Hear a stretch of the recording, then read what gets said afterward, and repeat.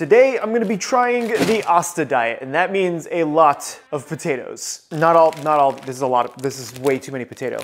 Now, Asta from Black Clover is known for two things, eating potatoes and screaming. So today I'm gonna be eating as many potatoes as possible. We have quite a few varieties of potatoes. I have some beautiful Idaho potatoes here, which are very cheap. I have some beautiful sweet potatoes here, which we're gonna use in a very fun way. And then my favorite, itty bitty little fingerling potatoes. These are amazing. The problem is I don't know exactly how many potatoes I need to eat. Now, according to my calculations and things that I've seen on the internet, Asta is between five foot one and five foot three, so we'll give him a little bit more on that and give him five foot three. He's also listed around 165 pounds, and at that height, Asta is jacked. If we put those stats into our macro calculator, we get 172 grams of protein, 375 grams of carbohydrate, 80 grams of fat, bringing this to a total of around 2,800 calories. So now that we know what we have to do, we just have to do it. Now that I know exactly how much I have to eat, I have to figure out how many potatoes I have to make. So I'm just gonna make a bunch of potatoes and then weigh them out as I need them. Yes, because I do have a menu for today. But Asta doesn't just eat potatoes. We also do see Asta eating meat on quite a few occasions. And so in my case, I'm gonna be using chicken breast and chicken thigh to keep it super simple. Now the other thing I really wanna do for you guys is show you how to meal prep a lot of this. I had asked you guys on the community page if you guys wanted full meal preps of all of the character diets, which I will be doing now because you guys seem to really want that. So what I'm gonna show you is a few different ways to meal prep something for Asta. Now the first thing for breakfast is actually called smash browns. You're gonna need quite a few fingerling potatoes and there's a reason for that. Now I just made up this name, smash browns, literally as I wrote this. But the thought process is to use a potato that has quite a bit of skin to flesh ratio. So I'm gonna be boiling these until they're nice and soft. And then we're gonna be smashing these. Also, uh, I'm gonna wash these. I'll be, I'll be over here. After washing these, we're gonna fill this entire thing with water. And guess what we're doing? Boil, we're just boiling them. Yep, potatoes. Now this has to go over to the stove. And the biggest reason why I'm cooking all of my potatoes ahead of time before measuring anything out for the diet plan is because I like to make sure I measure my food out as I'm going to eat it. I'm not eating raw potatoes, I'm only eating cooked potatoes, so I wanna make sure I measure everything after it's cooked. Now these are gonna be done the same exact way. Gonna boil them. With the sweet potatoes going on the stove, we have all our fur potatoes working finally, but we're still gonna need some more later. I have a feeling one of those is gonna fall over and it's probably gonna be the wok. Now I don't necessarily need these until later, but I'm just gonna wash them and get them prepped now. These two guys are gonna be used for potato pancakes for dinner, and so I need them raw. Now for the protein, I have three pounds worth of chicken thigh. I don't necessarily need to eat three pounds today. I probably need closer to 1.9 pounds worth of chicken at some point. Know why I'm doing this with my hands. But I'm gonna go ahead and cook all of this off because yes, I will be using this for the rest of the week. But what I'm doing with these chicken thighs is honestly nothing. It sounds really weird and a little bit far-fetched when you're on a cooking channel, but I like to use these in a very simple way. So this way, if I want to change it up, I can add stuff to it later. So in this case, we're just doing salt and black pepper. I should have done this before because I already... Ah, oh, it's in the chicken. See again, Elf? That's why we don't have nice things. Bunch of black pepper, a lot of black pepper there. And then I'm doing just maybe like a, a tablespoon or two of olive oil. You don't need too much for chicken thigh because it does have quite a bit of fat. This is more to make sure that the seasoning gets all over the chicken versus like flavoring the chicken with oil. I learned this technique from my friend Andong over at My Name is Andong. Give this a good mix and this is pretty much ready to go. Onto a sheet tray, a little bit of aluminum foil just to help protect it and help with cleanup later. Then take your chicken thighs, throw them onto the sheet tray with aluminum foil. This entire tray goes into a preheated oven that is set to 450 degrees Fahrenheit. Literally the hottest mine will go for about 12 minutes and our chicken thighs are done. And this oven is not preheated, so I guess I'll make some chicken breast. This is also three pounds worth of chicken breast. This is technically the same amount of calories that Goku would have eaten. How is Asta eating the same, whatever. Now, admittedly, I will do the chicken breast slightly different because chicken breast is not as good as chicken thigh. It really doesn't hold up to the same cooking methods that well because there's not as much fat. Instead, I'm gonna take each piece of chicken breast, then we're going to fillet it so we get thinner pieces of chicken breast, just like that. Since chicken breast isn't that great, we're just gonna marinate it and we're gonna cook it to order. Chicken breast, sliced. It didn't take very long. I'm just doing the salt and black pepper on this. It's gonna get a little more oil because it needs the help. Once this is done, I'm just gonna put it not where Gandalf is, but my oven is now preheated, so all of my chicken thighs will go into the oven for about 12 minutes. Now for the chicken breast, same method, but we're gonna cook it for less time. And just like that, all of the proteins are started. So now we kind of just wait, because we need the potatoes to do literally anything else.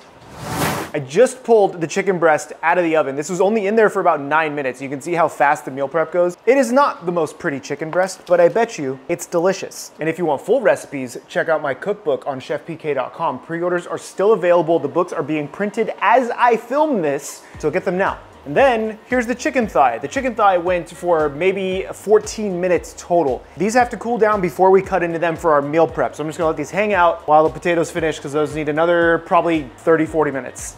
Now I have all of my meal prep ready. I have chicken thighs here, I have chicken breasts here, and I have this giant tray of potatoes. But the way I designed this entire day to go is that these have to actually cool down before I can use them for different recipes. So now this all gets put away until tomorrow when we start training.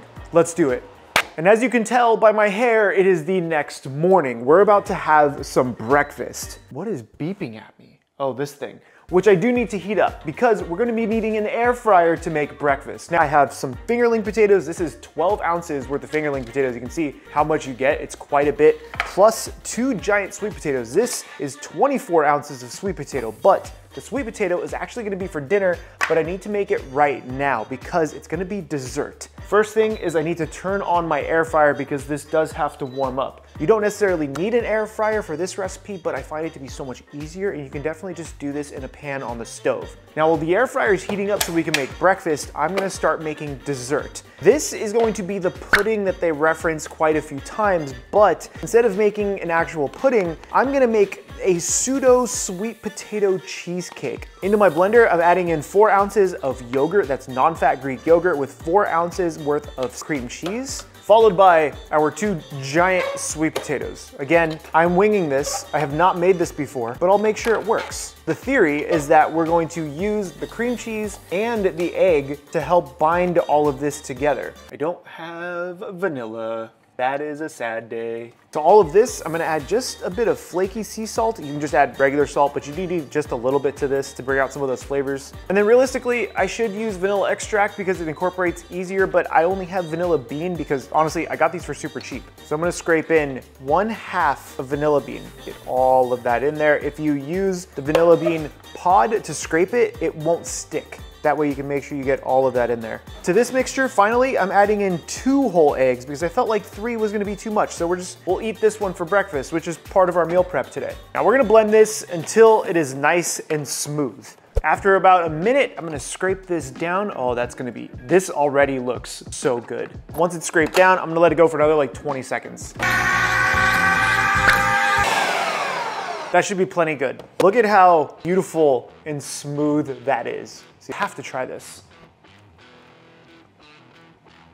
That's delightful. Oh my God. Now, since I still want this to kind of be a pudding and not all the way of a cheesecake, I'm not making a crust. You can make a crust for this, but I really want to try to make this without the crust. So I have myself two molds here. These are just regular three inch cheesecake molds. You could also do this in a silicone mold too. That would work really well, like something you would use for cupcakes. Then we're just gonna dump in a bit of this in there. I am really, really excited for this. Best practice is to maybe fill it up to where you have about a quarter of an inch left from the top I was able to actually get three mini pudding things out of that. That was quite significant that's really only two sweet potatoes. Now the big thing with this is because these are removable bottoms on these pans, I have to make sure that they're wrapped really, really well with aluminum foil. So this way, none of the water leaks through because we do have to cook this in a bain-marie or in a water bath. Now with all three of these wrapped, I'm gonna place them in a very, very deep pan, or you can do this in a sheet tray if you wanna be risky. Then I'm gonna fill this with hot water just until it comes up almost halfway. It'll probably be less than that, but that's gonna be okay. Now this has to bake, I'm guessing for about 45 minutes. I've never done this before,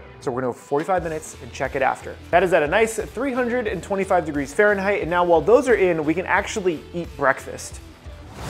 And breakfast again is gonna be our potatoes with chicken and eggs. And this, my friends, is gonna be smash browns. All you do is you take a baby potato, place it on your cutting board, take something to smash it with and just press down. Slide it off and you have a smashed potato. This is a lot of potato. Next thing is just a bit of olive oil. We're gonna brush each of the potatoes just a little bit. Make sure you season it with salt. And I'm gonna do the same thing on the other side. Make sure I hit the back with salt as well. And once this is seasoned up, we can pop it into the air fryer. Now these do not need too much time. Now the next piece of protein is just gonna be our eggs. You can also make these eggs however you want. I'm gonna do them over easy, over medium probably. Some black pepper, hit my eggs with just a little bit of spray on top so this way they don't stick when I flip it. And then we give it the good old, good old flip. I'm gonna kill the heat, but I'm gonna leave them in the pan for about 30 or 40 seconds while we get everything else ready. And that everything else is our two pieces of chicken breast that we actually made yesterday. Brush this with just a bit of olive oil as well because we have it. I ended up having to remove the eggs from the pan, otherwise they would have like fully overcooked because I got a, a little ahead of myself with the eggs. Those should have been done last minute, but my potatoes are done. Little crispy, little deliciousness. We're just gonna stack these guys up here. I'm gonna throw my chicken breast into here because I'm lazy. Chicken is done. That happens so quickly. I'm just gonna give this a quick slice, you know, some nice chunky pieces. And that, my friends, is breakfast. Look at this. This looks freaking amazing. So according to Macro Factor, which is another tracking app that I've been using, this entire breakfast has 934 calories, 94 grams of protein, which is pretty significant, 35 grams of fat, and 54 grams of carbs. This is a good amount of food. The reason why is because I wanted to be able to fuel my workout later. Cheers. Perfect chicken. It's still incredibly moist. Even after sitting all night and cooling, it's really good. But here's what we're really looking for. Dip that in the yolk. I love these potatoes so much. They're creamy, they're crispy, flavorful, salty, really almost, almost meaty in a way. Now, time to finish this. That was delicious. This one was more difficult for me to finish, but not as hard as the Goku diet.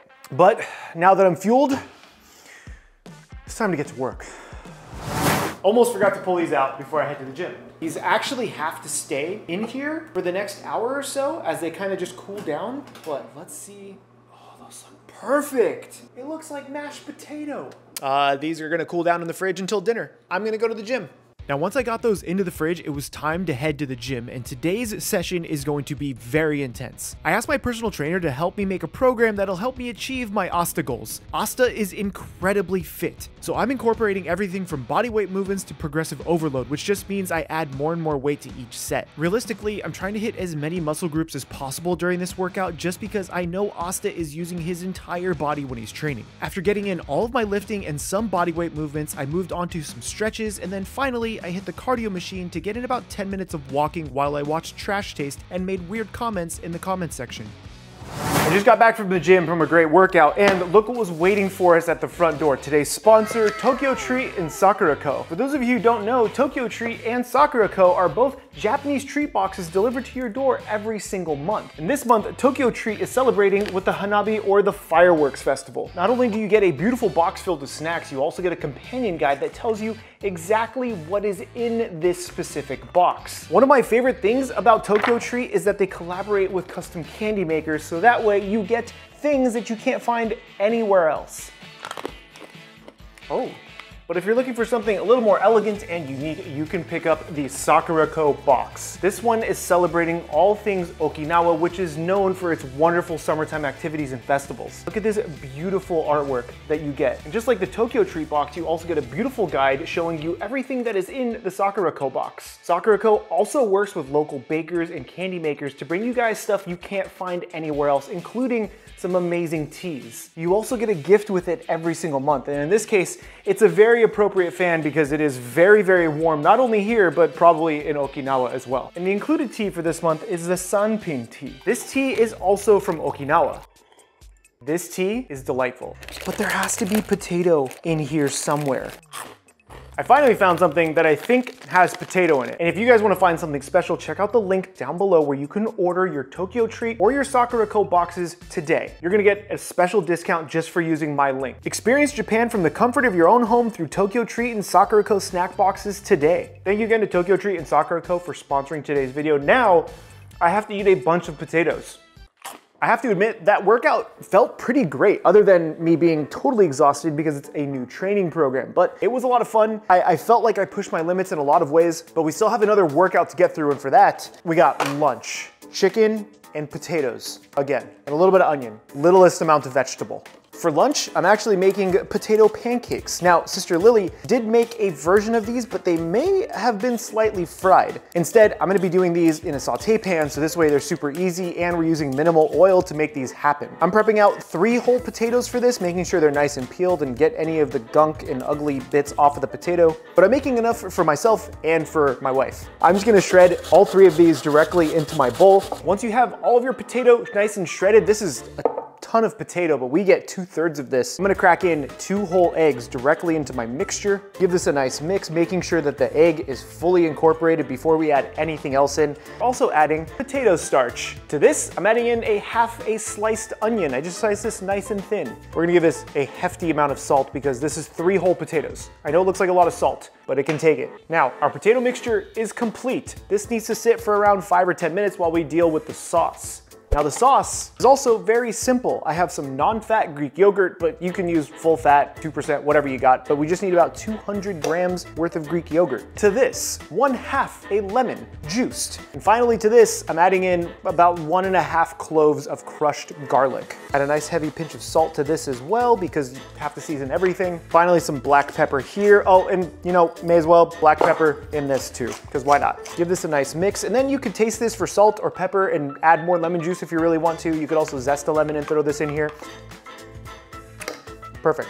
Lemony, garlicky, salty, perfect. But now since I have so much mixture, I'm gonna bust out the skillet. Gonna crank this to like 325, according to whatever this metric is, it's probably wrong. I started heating this thing up and uh, it's kinda smoking a little bit, which means it's way too hot for pancakes. If I throw this on here, it's gonna be too hot. So I'm gonna let this, I'm gonna turn this off for a second. We're gonna spray this down and wipe away any additional grease. I have to finish mixing this because I have the black pepper in there, so I'm gonna give this a quick mix, and then we're just gonna drop these directly onto the skillet. And Hopefully get quite a few of them going because this is quite a bit. This is gonna be a big lunch. Looks like I can get just about four on here. Now, these are gonna take probably five to six minutes on each side. About four or five minutes has passed and now we can finally flip the pancakes. Look at that color on, oh my goodness. Oh my goodness, these smell amazing. So excited.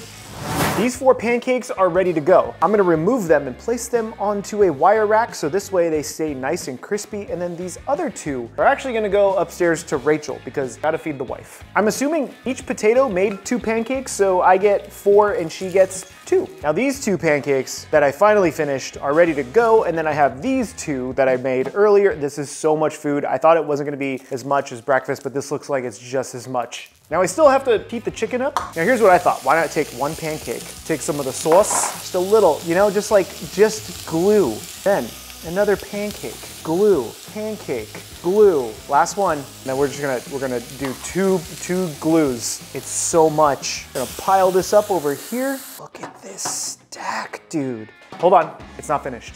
Now it's finished. There, my friends, is lunch, Asta style. This is so much potato, so much chicken, everything in between. It's actually 4 p.m. I had a pretty late start to the day and I still have to train after this. But this, my friends, is lunch. I'm really, really looking forward to this one. Going in. Cheers. Uh.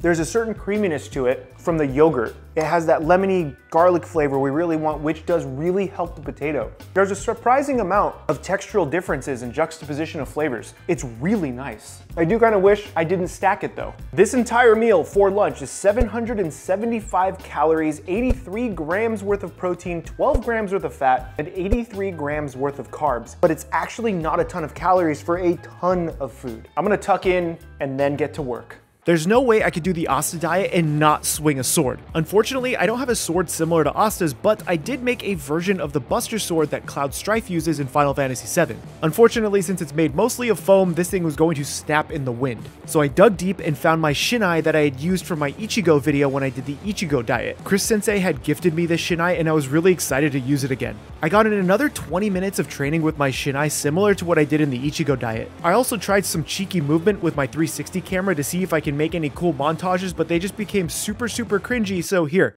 have a laugh. I know I did. 20 minutes in the sun of sword training, followed by the cringe 360 montage, worked up an incredible sweat. It's a lot harder than it looks. Let's go make dinner. I want that pie. I'm not changing after that last workout. That actually felt really, really good. Now I'm ready to make dinner. And in my bowl, I have two whole potatoes. These are two of the ones that we boiled earlier that we really haven't done anything with. And now we get to finally do something with them. And that's gonna be simple. We're making croquettes. I was gonna say from Kill la Kill, which is one of my favorite animes, but it's not gonna be a mystery croquette because to these two potatoes, I'm using eight ounces of that chicken thigh that I had cooked earlier. This is just diced up, ready to go. We're gonna make some meat and potato croquettes. Next is about two tablespoons of dried parsley and one whole egg. This is to help bind it. This also, honestly, you could could use mashed potato. To this, I'm gonna add, I don't know, quarter cup worth of really, really, really nice heavy cream. Pretty hefty pinch of salt because this is gonna taste like nothing. And as always, forgot to crack the black pepper before I use the glove. I'm gonna give this a really nice mix and then try to get some pepper in there.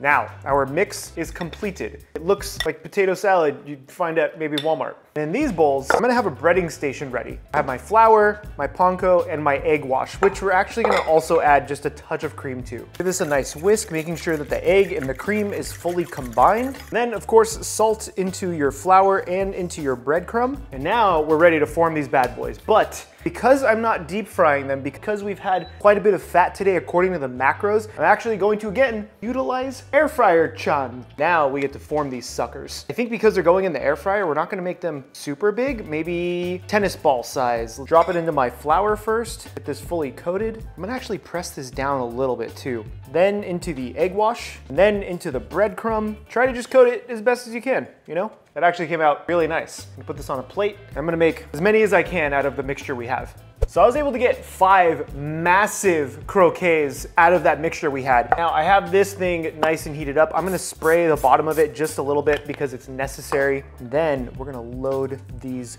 bad boys up. I'm really excited to see how these come out. I don't wanna overcrowd it. So I'm gonna put four in there. We're gonna go for like 10 minutes and flip them. So this should take probably 15 or so minutes. In the meantime, we can make sauce. You can't have potato croquettes without this. Little squirt of Kewpie mayo, a little squirt of the oldest sriracha on the planet. This is a preference, a little touch of soy sauce. That the good old mix. So simple and so good.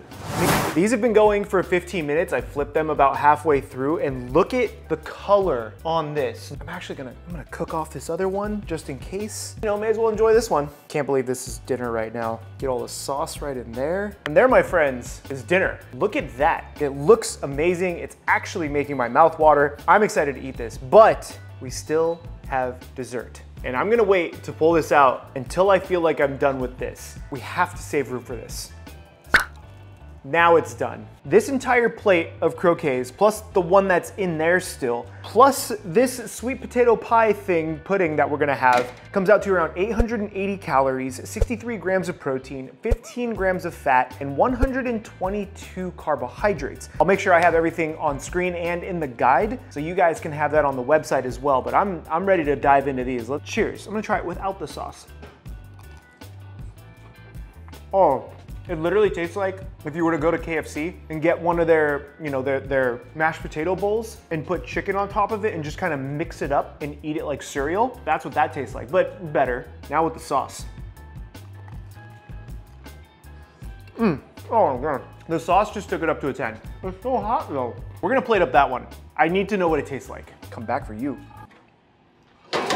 Oh no, it fell in the sink. Oh my God, no. I'm so sad right now. Well, we only lost a little bit of sauce. Man, that's pretty. Like that is beautiful. Literally went in blind and it came out perfectly. Throwing a little bit of this organic maple syrup with vanilla bean infusion. That's it, you don't need too much. And that, my friends, is dessert. Look at how gorgeous that is. I deserve this. Cheers. It tastes, it has the sweet potato flavor, don't get me wrong, but it tastes like cheesecake. It tastes like sweet potato cheesecake. And this is amazing. This is why I absolutely love doing these videos. I get to discover stuff like this and it makes me so excited. If you wanna pick up this guide that I made for the Asta diet, head over to chefpk.com where you can pick that up and support the channel for a couple of bucks. Maybe pre-order my book if you really want it. My name is Chef PK and remember, keep playing with your food. Oh, and let me know who I should tackle next. Yeah, this is not this is absolutely coming with me.